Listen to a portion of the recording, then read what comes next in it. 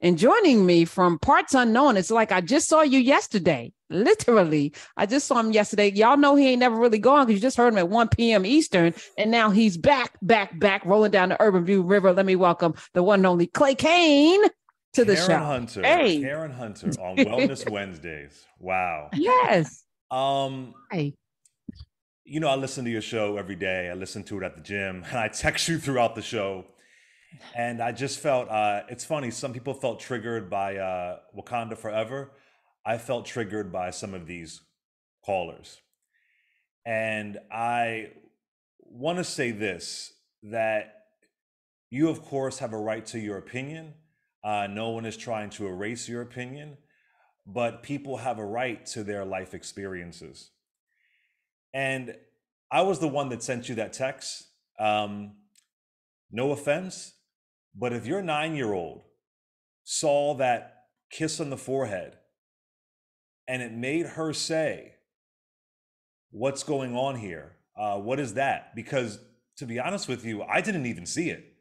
I didn't even know it. I it didn't, didn't even didn't resonate with me. I don't think it resonated with you, Karen. Uh, I have very young cousins. They didn't think about it. Maybe your nine year old saw something that touched them. Maybe your nine year old grandchild saw some intimacy that touched them. Maybe your nine year old grandchild is so smart that she's able to tell when the cousin in your family is maybe implicitly being shunned. I also want to add that black gay folks have been serving the black church since there was a black church. There would be no black church without the gay folks who've been faithfully serving. And there are a lot of people who do harmful things in the name of goodness, in the name of their God, in the name of their Jesus. And lastly, I want to say that I got to always remind folks on, on my airwaves that there are LGBT folks who are black.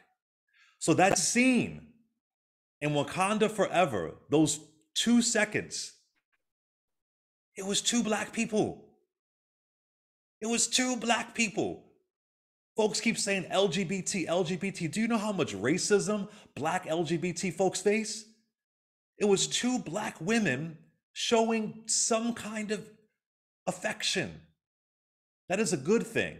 And if you were outraged by that, then I assume you are willing to throw away James Baldwin, Audre Lorde, Bessie Smith, Langston Hughes, Bayard Rustin, currently Malcolm Kenyatta, currently Shevrin Jones, currently two of the founders of Black Lives Matter that y'all like to quote a lot. We as Black people, we don't have time to throw any of us away. And the sad thing that I hear is there are some people who want to throw us away. And that whole narrative about, oh well, my moral, my faith. Uh, let me um, one, another one more quick thing.